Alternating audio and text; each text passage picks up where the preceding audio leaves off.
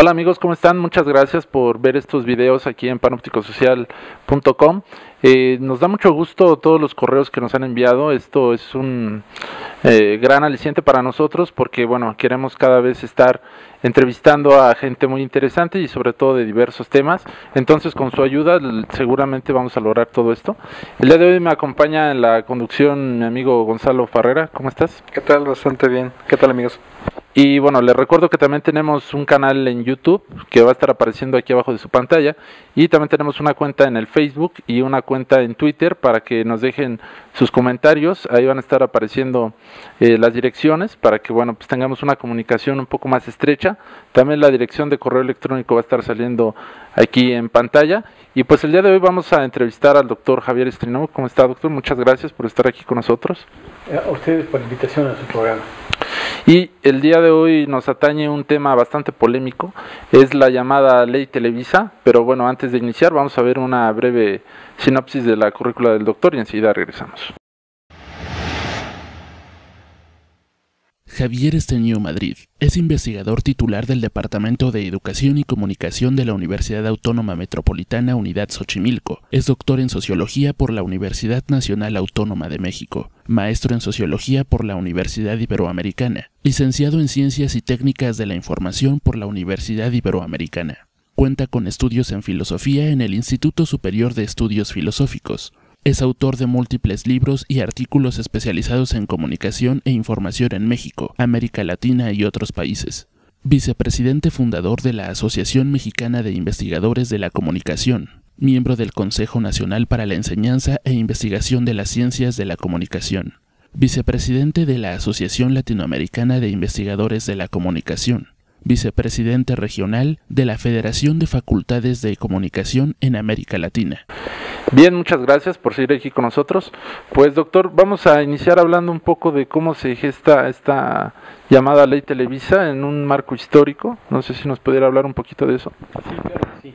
La ley Televisa fue una propuesta jurídica que se, presentó en el Congreso eh, a finales del año 2005 y posteriormente eh, en el 2006 en el, en el, Senado de la República, eh, que consistió básicamente en un planteamiento jurídico eh, lo más a modo para poder fortalecer el proyecto de expansión eh, monopólico de la radio y la televisión, pero especialmente eh, de la radiodifusión, de una manera verdaderamente unilateral y sin ningún contrapeso para poder dar oportunidad a que otros sectores de la comunicación pudieran también entrar en ese espacio de, de acción. De tal forma que después de muchos años de haberse trabajado en el ámbito democrático por parte de la sociedad civil para tener otras propuestas alternativas, todas estas fueron canceladas por parte del gobierno y en el periodo de la gestión del presidente eh, Vicente Fox, eh, en, diciembre del 2005, fue aprobada sin haberse discutido eh, y sin haberse revisado, incluso por los partidos más críticos como fue el Partido de la Revolución Democrática, el PRD, en seis minutos y esto sucedió en la Cámara de Diputados. Posteriormente esa propuesta se pasó al Senado y allí, después de una discusión aparentemente eh, eh, eh, completa, pero en el fondo fue simplemente superficial, se tenía también ya una línea de señal para que la ley Televisa fuera aprobada sin modificarle ninguna coma, como se ya, ya se había enviado por parte de la Cámara de Diputados al Senado.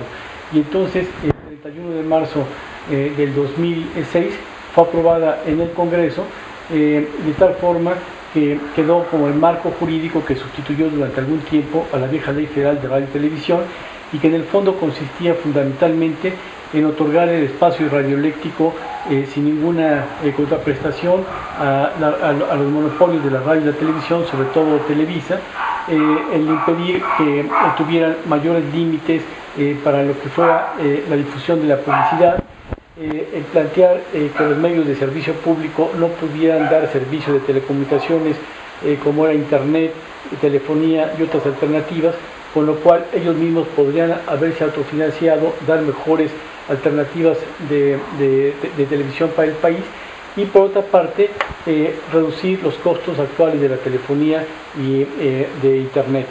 Eh, eh, en, síntesis, podríamos decir que ha sido, además de otras características eh, que sería un poco extenso narrar todas ellas, esta ha sido la propuesta más abusiva que se ha planteado al Congreso de la, Unión en toda la historia de la radio y la televisión. Y esto fue posteriormente apoyado por el presidente Vicente Fox de tal forma que la aprobó como figura presidencial y así quedaron dos poderes de la República vencidos ante la fuerza de las televisoras porque esto lo gestionaron en el periodo de cambio electoral del 2006, donde los partidos políticos no se atrevieron a enfrentarse a los monopolios de la televisión, puesto que tenían un gran favor a que no apoyaran a sus eh, representantes que querían contender por la sucesión presidencial. Entonces les dieron todas las prerrogativas, ninguna exigencia, ninguna traba, y con ello eh, quedaron eh, el espacio radioeléctrico prácticamente regalado eh, y el espacio radioeléctrico, hay que señalarlo, es propiedad de la nación y es el, eh, recurso a través del cual funciona todo el, sistema de telecomunicaciones en el país. Y esto quedó eh, prácticamente entregado de forma gratuita a las televisoras, con lo cual incrementaron su, su enorme poder económico, financiero, político y sobre todo comunicativo. Fue nada más la Suprema Corte de Justicia de la Nación ante una eh, eh, acción de inconstitucionalidad que plantearon 46 eh, legisladores, que pudo detener en julio del 2007 esta iniciativa y la planteó como inconstitucional. Y es por eso que afortunadamente no progresó este proyecto extremadamente rapaz, porque hubiera debilitado todavía más al Estado como está ahora. sin embargo, tenemos ahora eh, que este mismo espíritu y este mismo proyecto se ha seguido gestionando, pero ya no como una propuesta jurídica abierta o amplia, sino a través de, diversas leyes mini televisas, como fue la licitación 21, como acaba de ser recientemente esta vinculación entre Televisa y Televisión Azteca, que es algo insólito cuando han sido competidores y enemigos durante muchos años, ahora se alían para enfrentar al otro monopolio de las telecomunicaciones, que es el, caso de Telcel en el grupo Carso del señor Slim. Y eh, observamos que esta misma eh, estrategia de continuar fortaleciendo a los monopolios se ha venido eh, gestionando, pero ahora con modalidades mucho más agudas vía leyes, mini leyes televisas que son las que se han ahora aplicado en el país.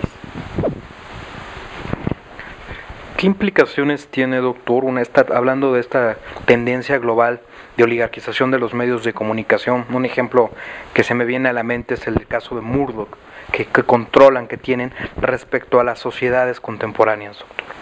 Bueno, es algo sumamente preocupante, eh, eh, pero el caso de Murdoch realmente es eh, mínimo en relación a lo que es el esquema México con la presencia del sistema duopólico de televisión especialmente, porque en el fondo lo que esto conlleva es la conformación de un nuevo poder fáctico paralelo a los poderes públicos del Estado, que se enfrentan a los poderes republicanos los debilitan, los anulan, compiten con ellos e incluso en muchos casos ya los sustituyen. Entonces es construir paralelamente otro nuevo tipo de Estado mediático, pero por la vía fáctica, es decir, sin pasar por el sufragio efectivo, sin ser elegido por el pueblo, sin estar sometido a la transparencia, sin tener que rendir cuentas, eh, sin ejercer el servicio público, etcétera, etcétera, y sí con capacidad de gobernabilidad para dirigir la rectoría del país. Entonces, en el fondo lo que significa es la presencia de otro nuevo eh, poder eh, eh, privado comercial en el terreno del espacio público que también tiene una función rectora cotidianamente, aunque no se le reconozca como un gran poder para dirigir a la nación. Bien, pues yo creo que sería momento de hacer una pausa, doctor, y enseguida regresamos aquí a nuestro siguiente bloque. Javier, ¿qué implicaciones tiene el concepto de la cuarta república mediática? Bueno, eh, es un planteamiento conceptual que, yo hago, eh, que no he encontrado desarrollado en ningún otro texto de la sociología, de la comunicación, de la ciencia política, incluso de la reflexión sobre la teoría del Estado, y que a mí me parece muy preocupante porque el desarrollo que han alcanzado los medios de comunicación como poderes fácticos es enormemente eh, sorprendente. ¿Por qué? Porque si en los años 60 se podían ver como instituciones de socialización, eh, la, acaparación de fuerza y de poder que gradualmente fueron conquistando, para los 70 ya se habían convertido en, grupos de presión, para los 80 en, en poderes tácticos, para los 90 en poderes tácticos salvajes y hoy día ya han rebasado esa categoría y se han convertido en ser parte del corazón del propio Estado. Entonces, por eso es que planteo que ahora, a diferencia del proceso histórico que hemos tenido en el país, donde el Estado surge a partir en, el siglo XIX del enfrentamiento que tiene que realizar frente a la corona para eh, tener una que detenga eh, el poder español que sometía al país y entonces se constituye una primera configuración del Estado que con la independencia da origen a las primeras constituciones en el país, que configuran eh, una, fuerza rectora conformada por un poder legislativo, un poder legislativo y un judicial. Eh, esto va evolucionando y eh, conforman a la primera república en el país. Posteriormente, esto continúa avanzando y esa, ese esquema del Estado se sigue puliendo históricamente de tal forma que va adquiriendo mayor claridad, mayor fuerza y mayor legitimidad y surge la Segunda eh, República. Finalmente, eh, fue después de la Revolución Mexicana de 1910, eh, con la constitución que surge para darle paz al país y darle un mayor orden. En 1917. autonomía, en 1917, con, con, esta constitución queda configurado el tipo de Estado que hoy día nos sigue gobernando. Es el Estado formal. Sin embargo, de, 1917 a la fecha, han surgido nuevos poderes que tienen las mismas características que le corresponden al Estado. Por ejemplo, contar con un territorio, con una población, con capacidad de ejercicio de la violencia, eh, con la construcción de una cultura, de un lenguaje, eh, con eh, la capacidad de obtención de, dinero, de impuestos, etcétera, que han sido los medios de comunicación.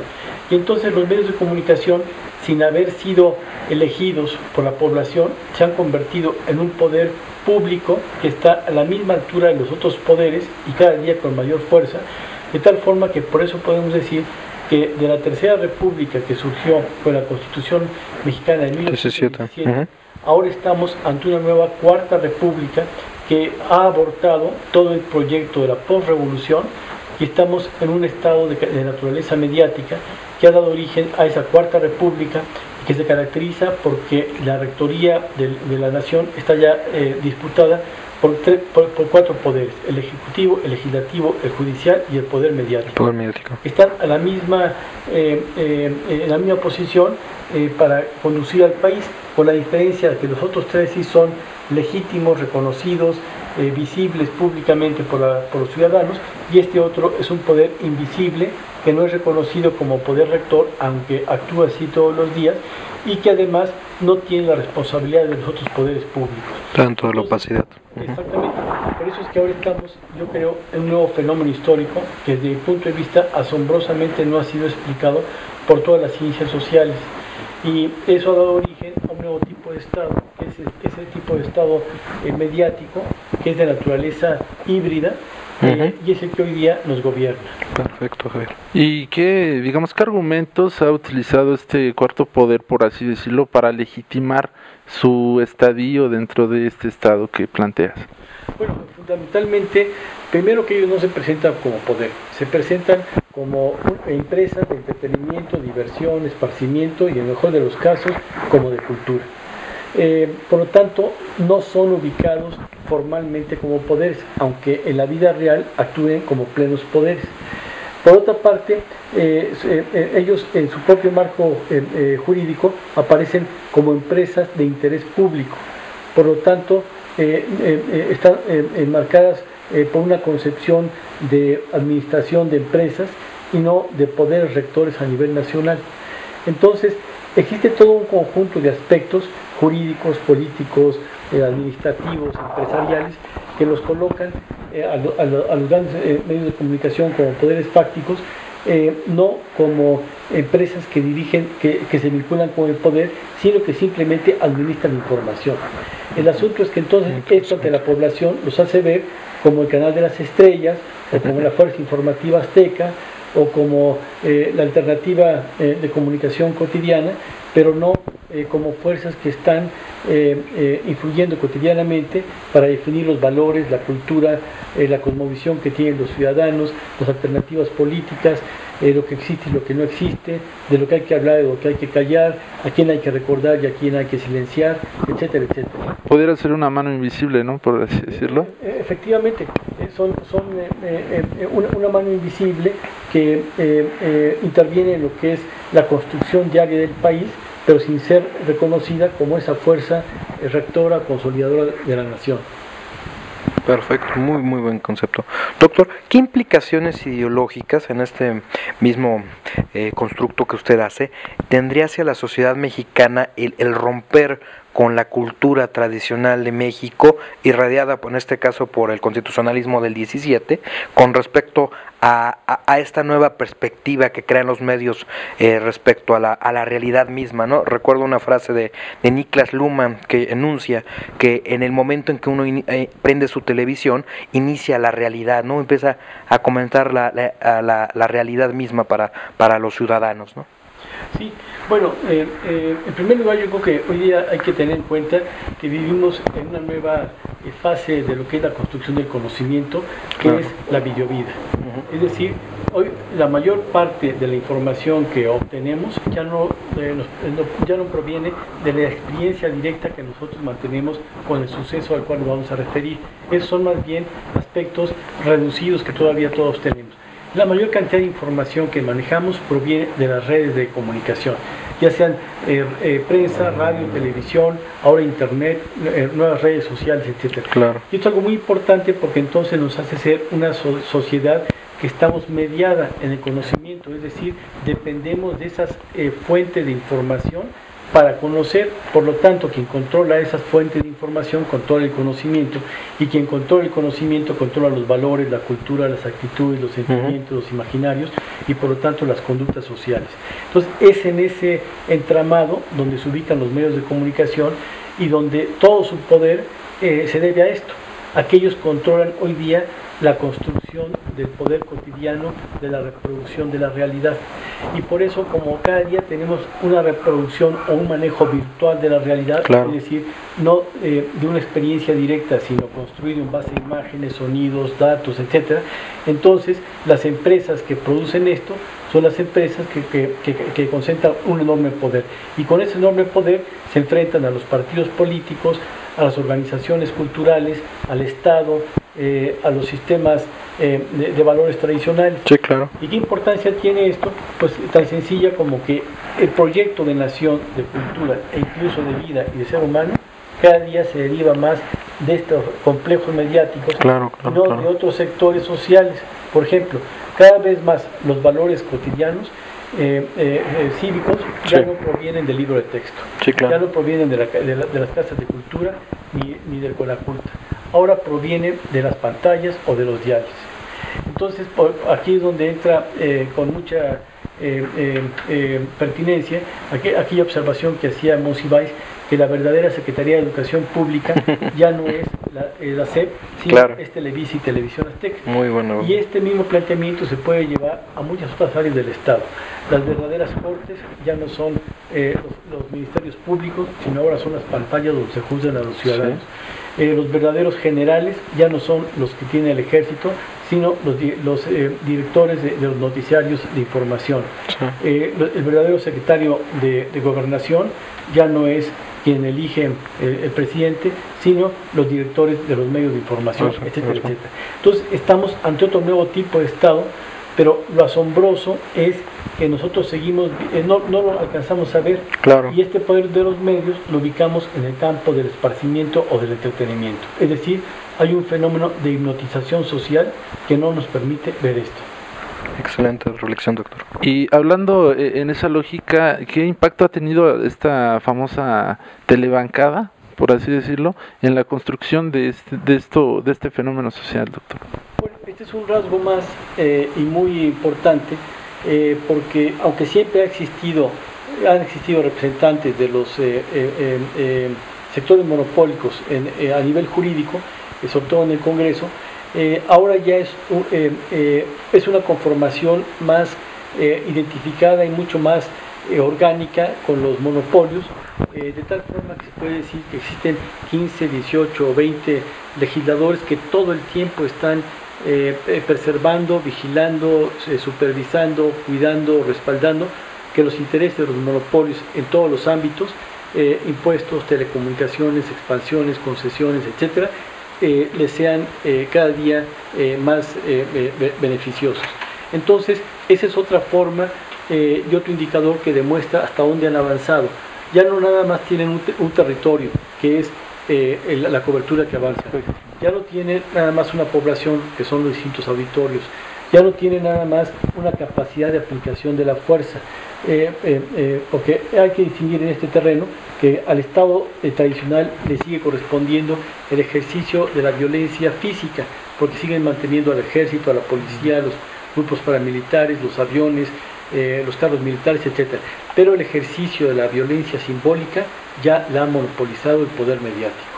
Son ellos quienes hoy día dicen quién es inocente y quién es culpable y quién es eh, la persona eh, que es limpia y quién es sucia. Eh, y dentro de este mismo seguimiento de las funciones del Estado tradicional que han, que han conquistado el aparato mediático, observamos que la existencia de la telebancada es un elemento más porque ya tienen sus propios representantes jurídicos en el Congreso. Es decir, ya, ya son partido político, son gobierno, son Estado, son aparato de Estado eh, que dirigen el país.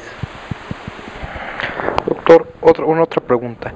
¿Cómo puede, atendiendo a, la construcción que usted nos plantea, la sociedad emanciparse de esta nueva modalidad de tiranía?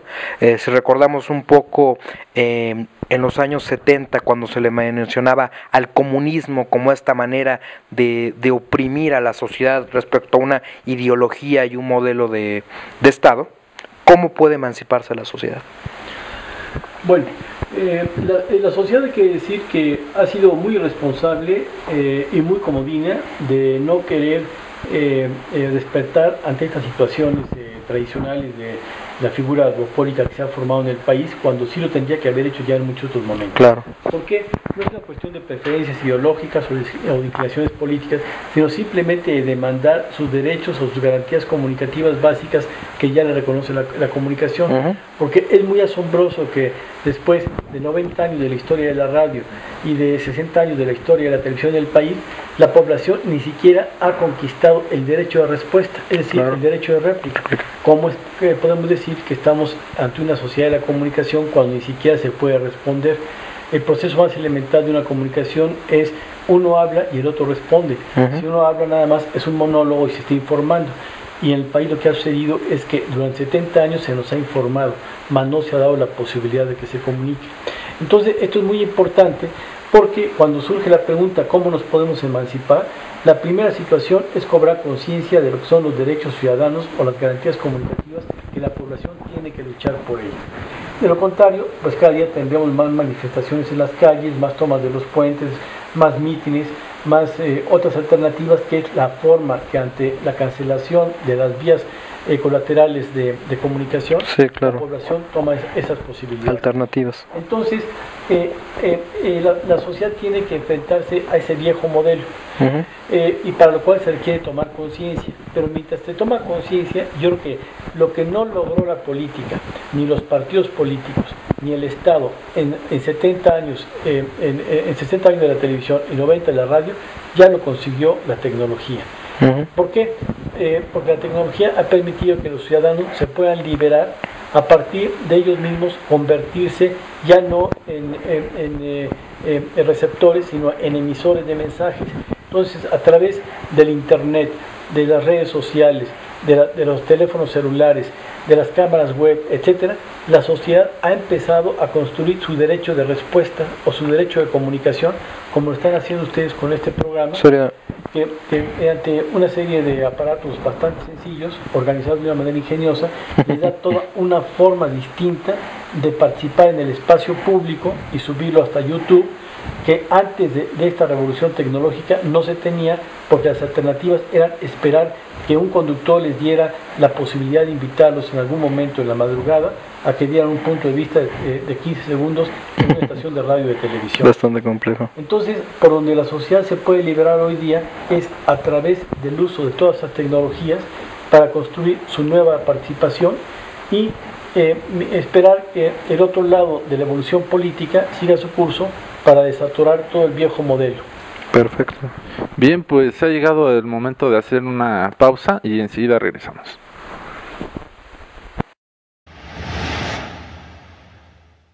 Bien, ya estamos aquí de regreso y pues nos quedamos en un punto sumamente interesante en, esta charla, ¿no?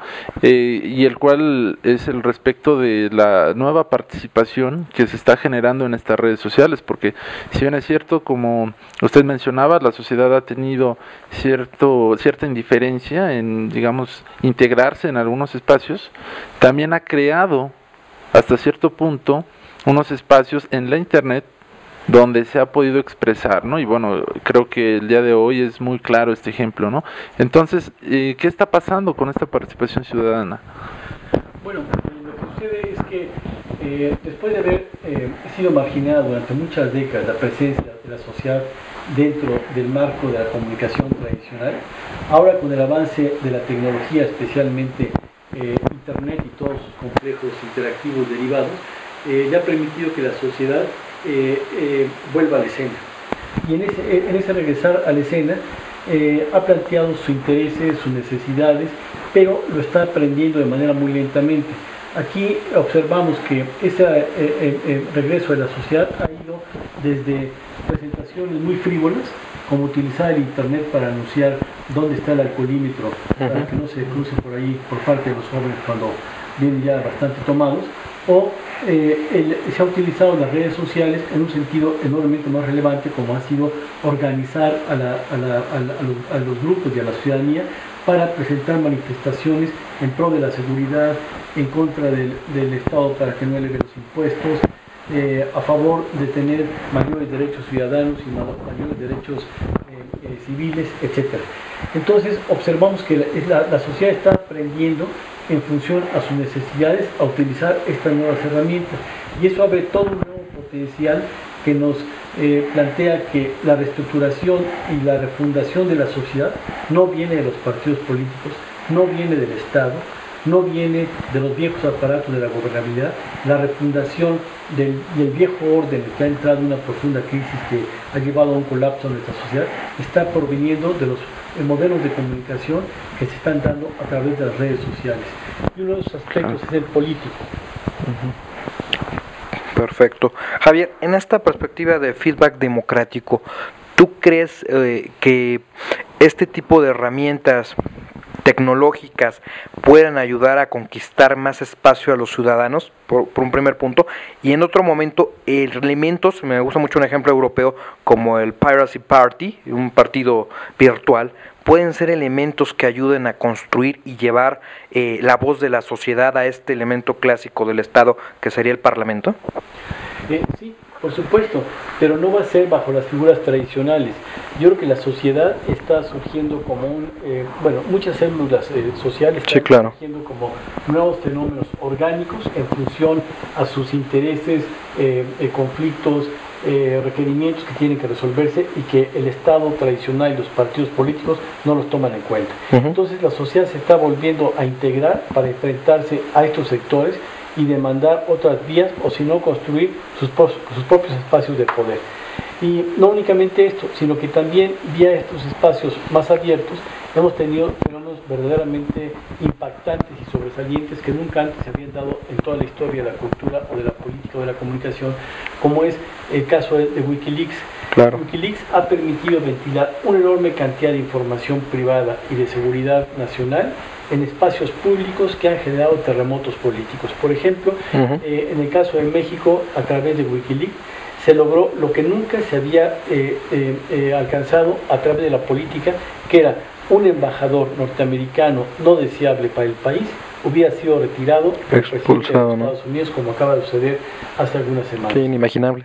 Y lo mismo eh, eh, eh, sabemos que sucede con los bancos, con reportes de corrupción que han tenido ah, y, que se dan a conocer vía Wikileaks, o lo mismo declaraciones de algunos secretarios sobre el presidente o el presidente sobre los secretarios, o funcionarios externos sobre el gobierno mexicano, etc.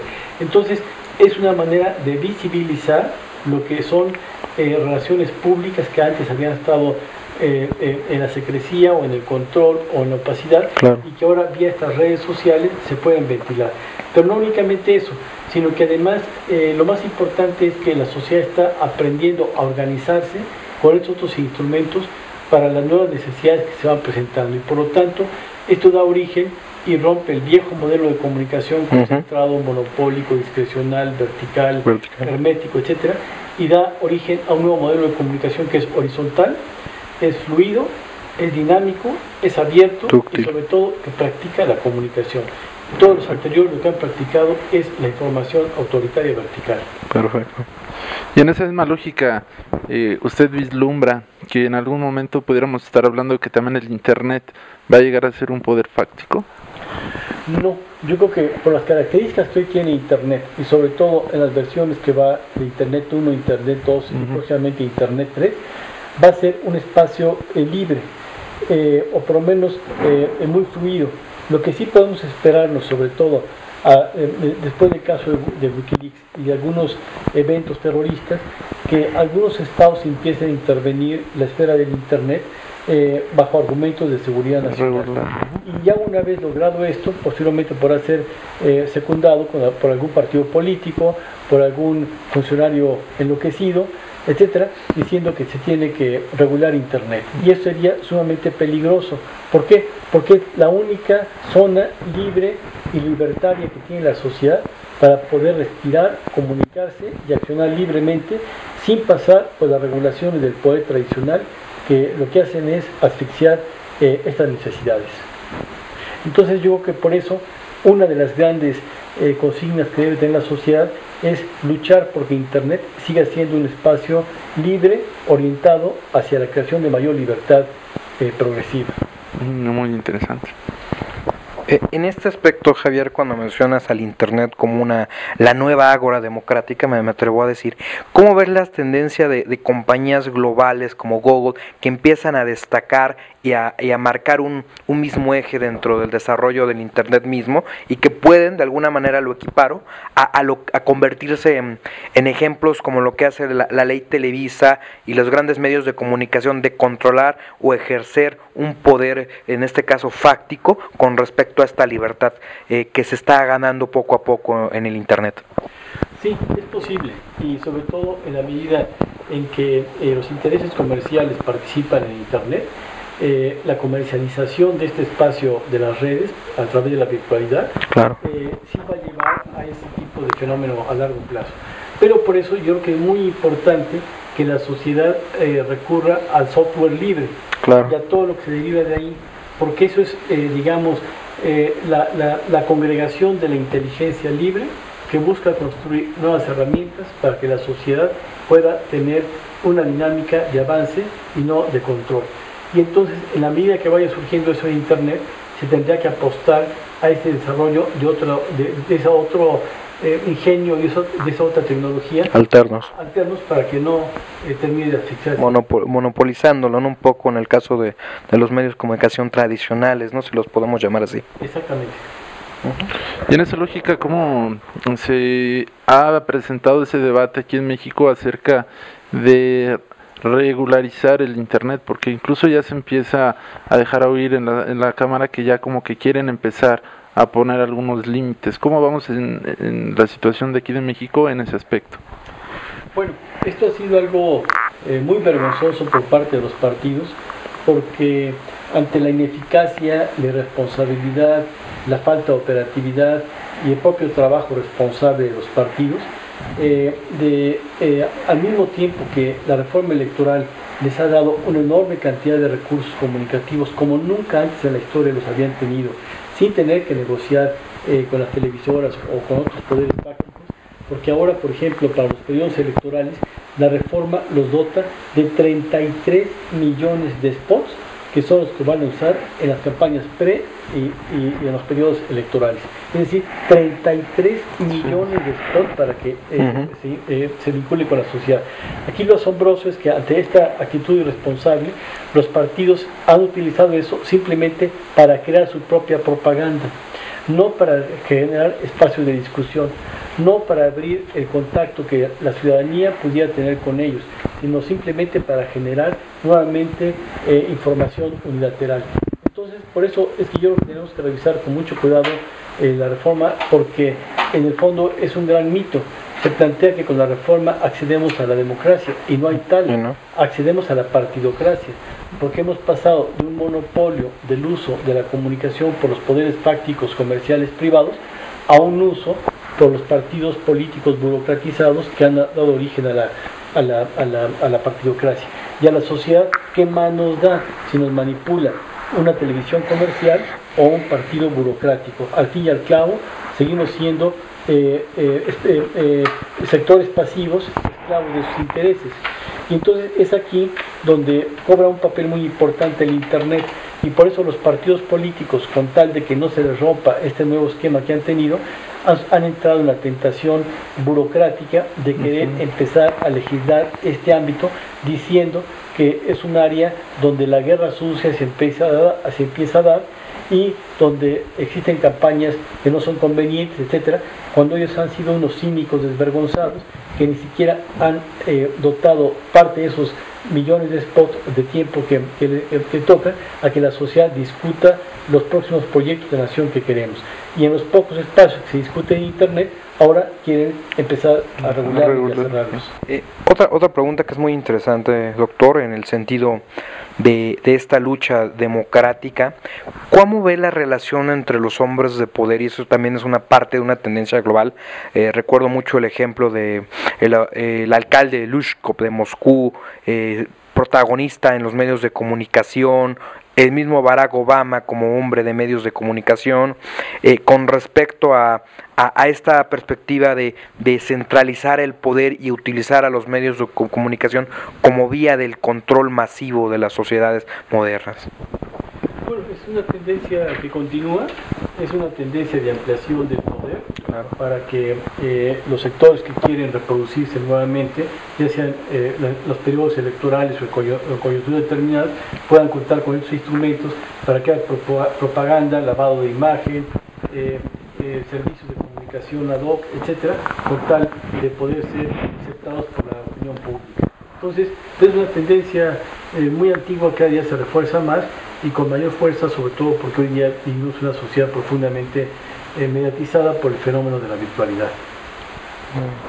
Bien, pues yo creo que vamos a ir ya a una pausa porque ya enseguida regresamos con el último bloque. Regresamos al último bloque de esta interesante charla con el doctor Javier Steinú, profesor investigador de la Universidad Autónoma Metropolitana, quien nos ha hecho el favor de contestar a estas interesantes preguntas que le hemos formulado. Doctor Steinú, ¿cuáles son las, eh, el origen de la guerra entre las televisoras y Telmex, doctor? ¿Podría contextualizarnos este problema? Claro, eh, en el fondo podemos decir que es un eh, asunto de disputa por el poder. ¿Por qué? Porque el presidente Calderón, para poder gobernar, como ha tenido que ser también, como fue también el caso del presidente Fox, eh, no lo han podido hacer sin el apoyo de las televisoras. El presidente Calderón inició con una eh, nueva posición que no habían tenido los, eh, gobiernos anteriores, que yo creo que fue algo muy valioso, pero que también ha sido enormemente costoso por la realidad a la cual se enfrentaba y de la cual no tenía suficiente noción, que es el enfrentamiento al narcotráfico. Y este enfrentamiento al narcotráfico fue debilitando, erosionando su imagen, de tal forma que se llegó a de su sexenio a decir ya no queremos más esta guerra, queremos que se parte. ¿Y esto por qué? Porque eh, el manejo, bueno, los resultados del enfrentamiento del narcotráfico han sido enormemente costosos y el manejo de las imágenes por parte de los consorcios mediáticos han sido muy eh, manipuladores para presionar más al gobierno. ¿Qué ganaban con presionarlo? Pues mucho, porque en la medida en que lo acorralaban, el gobierno tenía que ceder ante los intereses que solicitaban las televisoras y las televisoras pedían mayores concesiones, menores impuestos mayores ampliación del lapso en el que iban a durar sus concesiones, eh, mayores posibilidades de tener eh, otras empresas eh, concentradas y aumentar su fórmula monopólica, etcétera, etcétera. Entonces, el periodo electoral ha sido enormemente favorable para ellos han atrapado tanto al presidente como a los funcionarios con los dedos en la puerta, de tal forma que sabe el presidente que para poder terminar su gobierno con una buena imagen de gestión eh, eh, política requiere contar con un buen eh, manejo de medios. Y para contar con un manejo de medios, los únicos que pueden lograr esto son Televisa y Televisión Azteca, que tienen la mayor penetración en, la opinión pública. Entonces ha tenido que negociar ante ellos. Y estas dos empresas que vienen del manejo tradicional de lo que es la pantalla y la imagen, ahora han querido incursionar en el campo de las telecomunicaciones ofreciendo internet y telefonía porque el futuro ya no va a estar en la, imagen, sino va a estar en las telecomunicaciones, en, la, telefonía celular, en lo que es la transmisión de datos, en, todas las nuevas versiones del Internet, etc.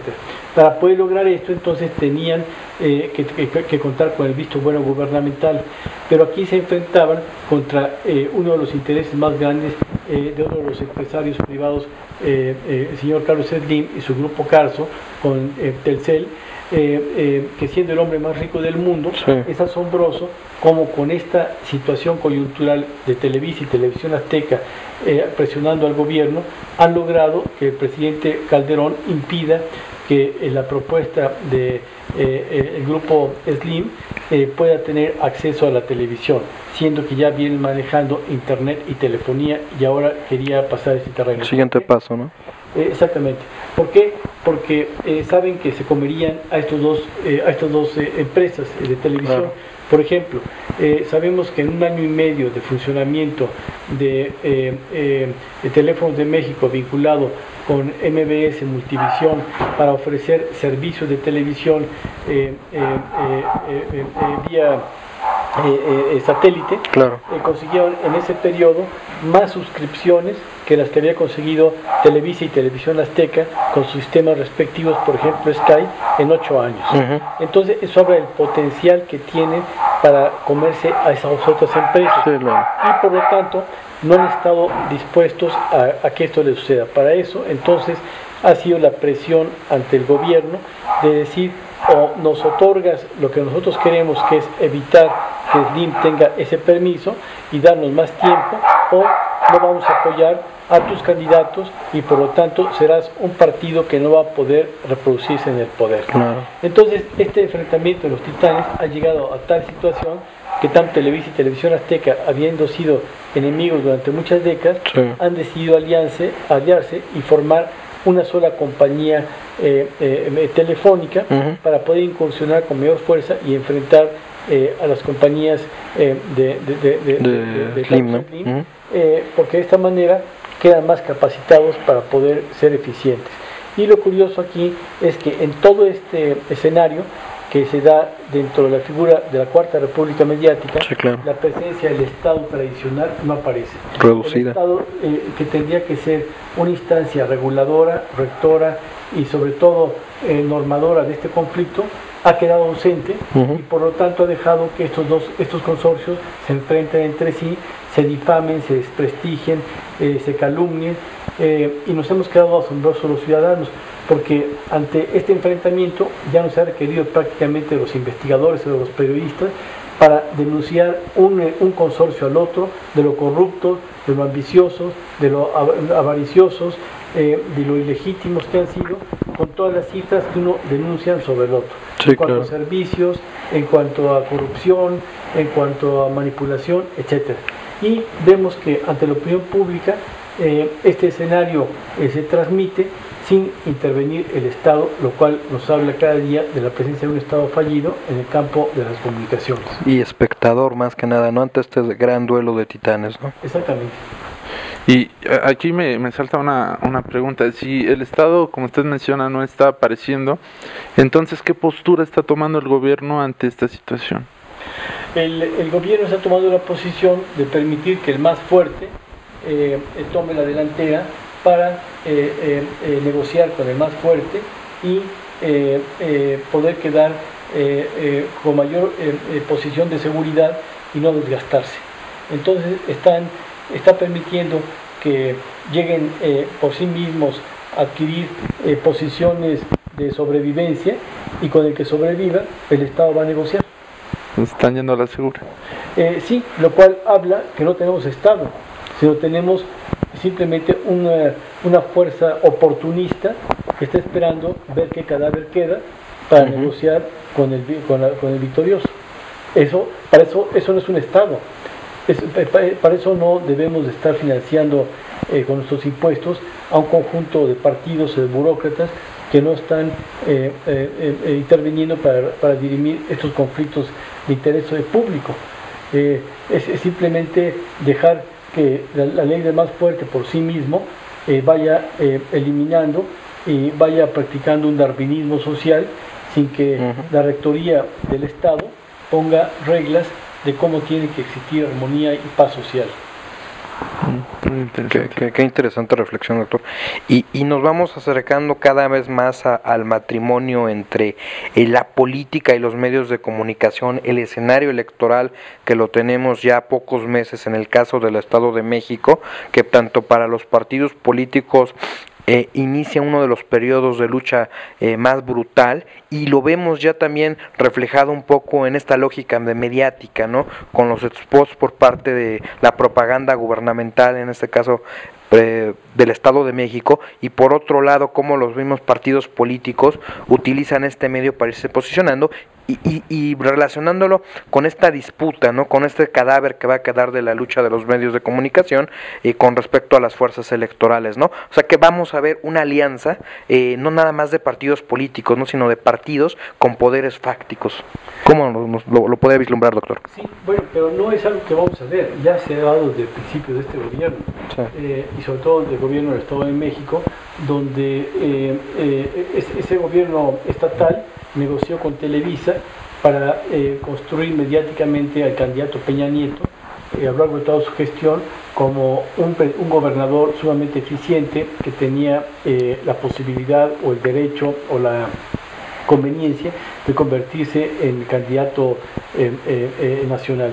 Y entonces ahora lo encontramos por todas las encuestas eh, reconocido muy, muy bien posicionado. como la persona mejor posicionada y por lo tanto eh, esa eh, construcción mediática ha dado un resultado excelente. Pero esto se ha dado a través del financiamiento que el Estado de México en la gobernatura del, gobernador Peña Nieto ha, estado dando constantemente a Televisa para financiar una serie de proyectos, de programas, de propaganda, de imágenes y con eso eh, Televisa pues ha quedado sumamente eh, eh, apoyada financieramente y como contraparte pues han dado todo su apoyo de imagen al, gobernador. Y esto es lo mismo que va a suceder para las próximas elecciones. ¿Qué candidatos van a negociar con qué consorcios mediáticos para seguir manejando paralelamente imágenes aunque los partidos políticos tengan todos los recursos informativos de los 33 millones de spots, eh, pero que hay otras áreas tradicionales como son eh, la barra femenina, los noticiarios, la, publicidad insertada, los infocomerciales, eh, la inclusión en las telenovelas, etcétera, de datos políticos que van posicionando a los propios candidatos y que no son contabilizadas por la reforma electoral como propaganda y las televisoras o las radiodifusoras simplemente lo consideran información eh, eh, oportuna del momento, eh, siendo que se está en periodos de cambio político. Entonces, eso es una guerra lateral y paralela donde aquellos políticos que, que, hubieran ya negociado con las televisoras van a tener una ventaja sobre los otros candidatos que nada más van a manejar tiempos oficiales. Tiempos oficiales. Y bueno, esto es muy interesante, ¿no? Porque pues estamos hablando de que en este año está la gobernatura del Estado de México en juego, ¿no? La cual ya ha dado demasiado de qué hablar. Y esto también está siendo campo fértil, indudablemente, para el escenario del 2012, ¿no? Y si nosotros empezamos a tomar estos cabos sueltos, por así decirlo, ¿qué pudiéramos esperar como, digamos, un, una premisa de lo que va a ser ya la, la, presidencial, ¿no? Si ahorita hemos visto que, como usted bien menciona, se está generando al candidato, se le está apoyando, ¿no? Y ahora hasta el, el, gobernador del Estado de México está invitando a los actores a, a desayunos en la Casa de Gobierno. Entonces, eh, ¿qué esperaríamos para el 2012?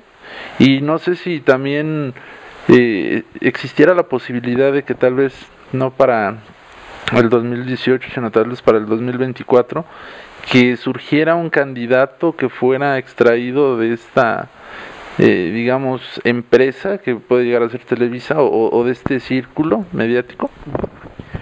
Sí, para estas elecciones creo que todavía no se dará ese, eh, esa etapa de cinismo salvaje.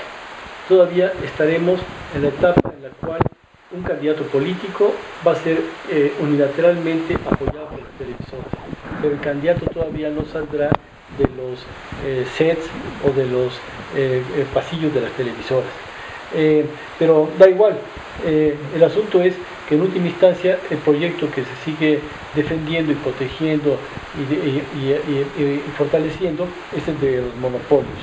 Entonces, lo que vamos a ver para las próximas elecciones federales yo creo que es un fortalecimiento eh, del candidato Peña Nieto por parte de Televisa, eh, quizás también de Televisión Azteca, a menos de que suceda un cambio muy drástico eh, en la correlación de fuerzas políticas que todavía hasta el momento no se ve. Porque la única que podría suceder es la, la famosa alianza entre PAN y PRD que no se ha terminado de dar y más bien cada partido está luchando por su lado lo cual los ha debilitado, los ha desgastado y han perdido votos. Y esto ha fortalecido a Peña Nieto, que ahora está buscando el acercamiento a los sectores que estaban indecisos y que iban a apoyar a estas dos otras fuerzas a través de la alianza. Entonces, yo creo que va a quedar más fortalecido.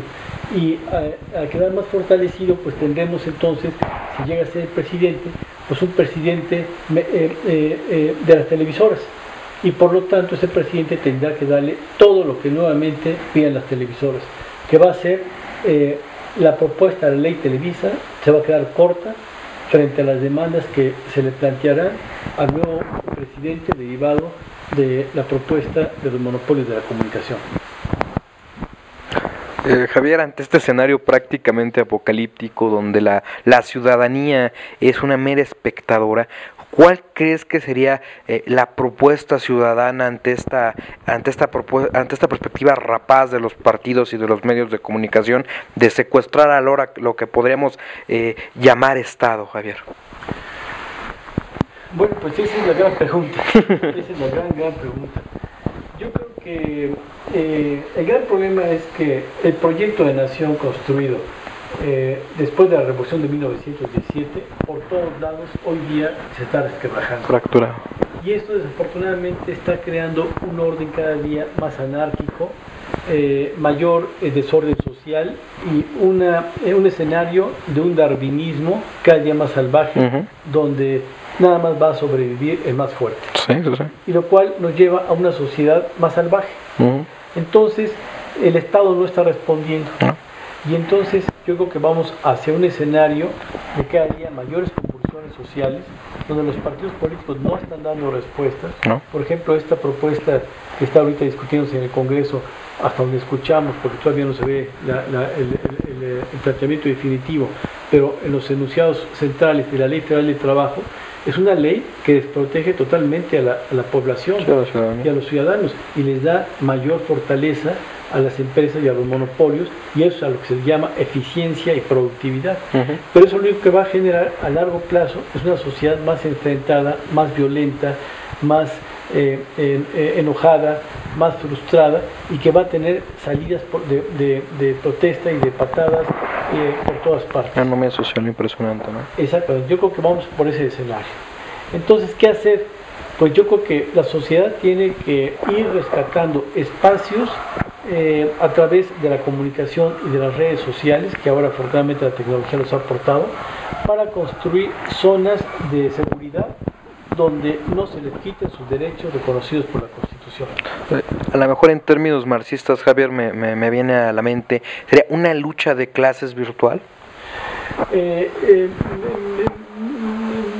no lo vería necesariamente tanto así, sino más bien yo lo quisiera llevar hacia lo que es regresar al marco constitucional, donde se plantean garantías sumamente importantes que pueden ser eh, accedidas sin necesidad de, pasar por una fase cruenta o de lucha de clases, eh, simplemente porque son garantías que ya han dejado la herencia de movimientos libertarios anteriores, como fue la independencia y la revolución.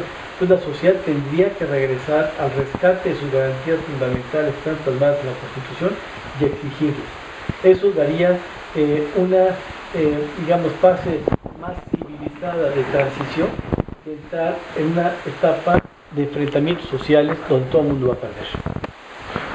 Y en esta época de alianzas, ¿no? que ya las empezamos a ver tanto de, bueno, de los partidos políticos y, de las eh, televisoras, eh, y regresando con este personaje llamado Carlos Slim, ¿él cómo crees que se estaría ajustando en este nuevo esquema en el cual por un lado pues tenemos alianzas de partidos y alianzas de televisoras, ¿no?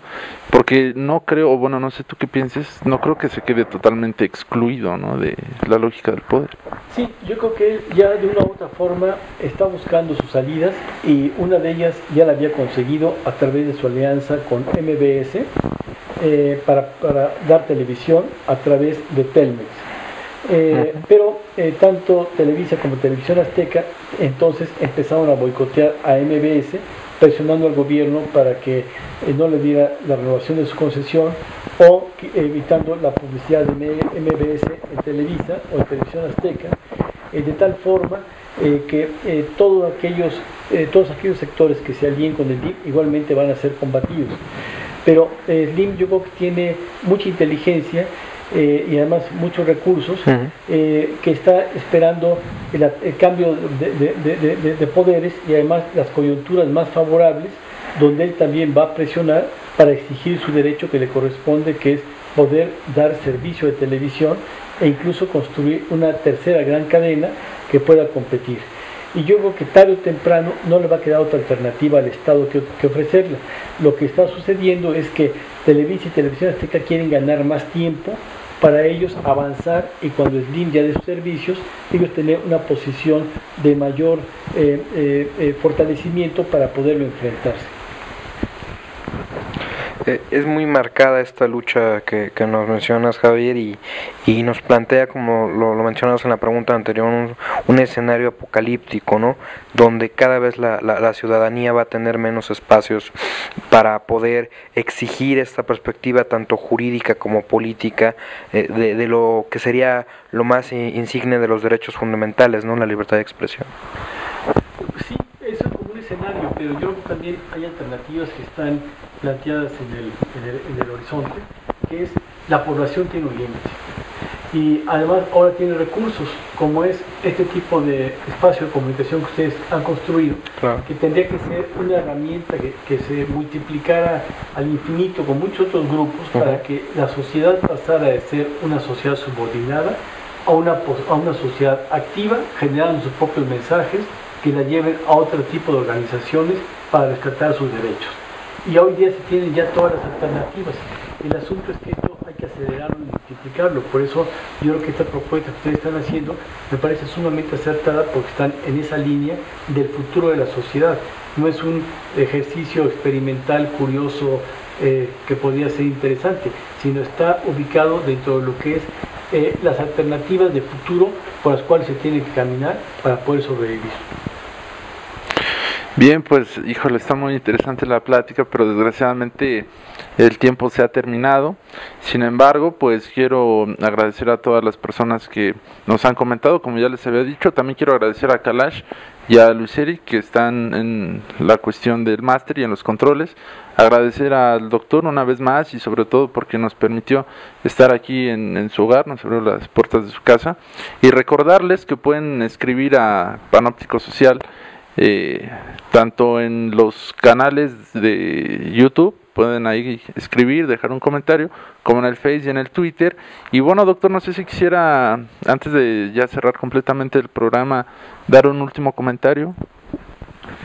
Pues bueno, eh, quisiera no reconocer el esfuerzo que tiene este ejercicio que ustedes están realizando y que tiene una eh, importancia eh, sumamente relevante que habría que ser imitada por otros grupos para que la comunicación vaya eh, fluyendo y evolucionando en el país y no se quede nada más en un esquema eh, unilateral que es el que han venido manejando los, los monopolios como proceso de información hacia la sociedad.